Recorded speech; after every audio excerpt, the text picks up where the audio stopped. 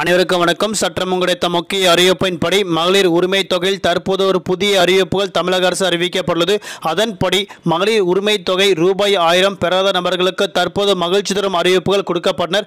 நீங்கள் இந்த video skip பண்ணாமல் பார்த்தா மட்டும்தான் மகளிர் உரிமை தொகை ரூபாய் ஆயிரம் எப்படி பெறுவது எந்த தேதிக்குள்ள உங்களுக்கு ரூபாய் ஆயிரம் கிடைக்கும் எல்லாமே இப்போ நம்ம பிரீஃபாக பார்க்கலாம். மறக்காம ஸ்கிப் பண்ணாமல் பாருங்க. உங்களுக்கு தமிழக அரசு பற்றியும் மகளிர் உரிமை தொகை ரூபாய் ஆயிரம் பற்றி பல்வேறு முக்கிய அறிவிப்புகள் உடனுக்குடன் துல்லியமாக தெரிந்து கொள்ள நம்மளோட சேனலை கீழே இருக்கிற இருக்க பட்டனை கிளிக் பண்ணி சப்ஸ்கிரைப் பண்ணிக்கோங்க. பக்கத்தில் பெல் பட்டனை கிளிக் பண்ணிக்கோங்க. இந்த வீடியோ உங்களுக்கு பிடிச்சிருந்தா லைக் பண்ணுங்க. இப்போ வாங்க வீடியோக்குள் போகலாம்.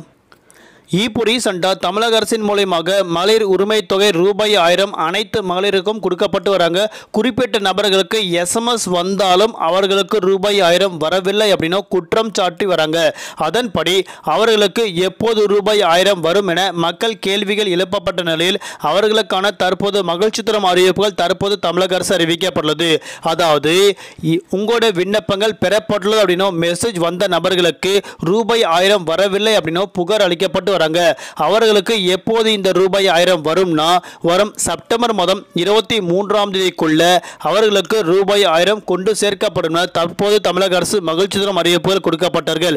அதாவது மகளிர் உரிமை தொகைக்கு விண்ணப்பித்து எஸ்எம்எஸ் வந்தும் இதுவரை ரூபாய் ஆயிரம் கிடைக்காதவர்களுக்கு வரும் இருபத்தி மூன்றாம் தேதிக்குள் வங்கி கணக்கில் ரூபாய் ஆயிரம் சேர்க்கப்படும் தற்போது தெரிவிக்கப்பட்டனர். உங்களுக்கு மகிழ்ச்சி தரும் அறிவிப்புகள் இது ஒரு பக்கம் இருந்தாலும் ஆனால் ஒரு சில நபர் நபர்களுக்கு எஸ்எம்எஸ் வரவில்லை அப்படின்னு புகார் அளிக்கப்பட்டு வராங்க. அவர்கள் கட்டாயம் மேல்முறையீடு செய்ய வேண்டும்.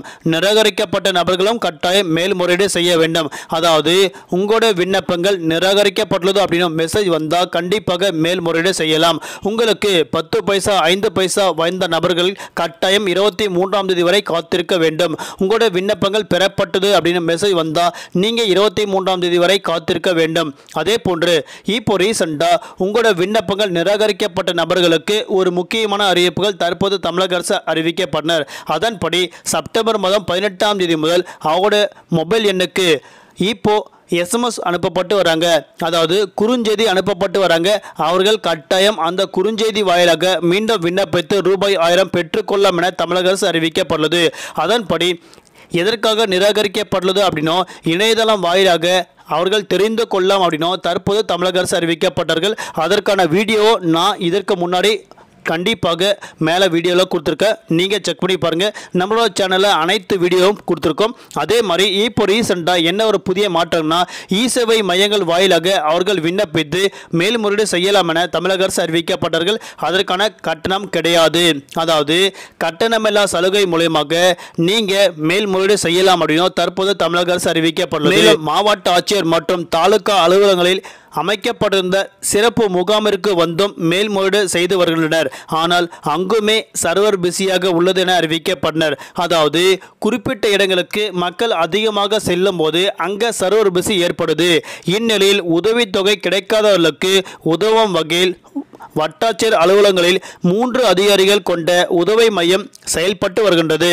அவர்களின் சந்தேகங்கள் தெரியப்படுத்தி கொள்ளலாம் என அறிவிக்கப்பட்டனர் மேலும் எஸ்எம்எஸ் வந்ததும் இதுவரை உரிமை தொகை கிடைக்காதவர்களுக்கு வரும் இருபத்தி மூன்றாம் தேதி அவர்கள் வங்கி கணக்கில் கண்டிப்பாக செலுத்தப்பட வேண்டும் என தற்போது தமிழக அரசு மகிழ்ச்சி தரும் அறிவிப்புகள் கொடுக்கப்பட்டனர். அதன்படி நீங்கள் எஸ்எம்எஸ் வந்த நபர்களாக இருந்தீங்கன்னா கண்டிப்பாக இருபத்தி மூன்றாம் தேதி வரை காத்திருங்கள்.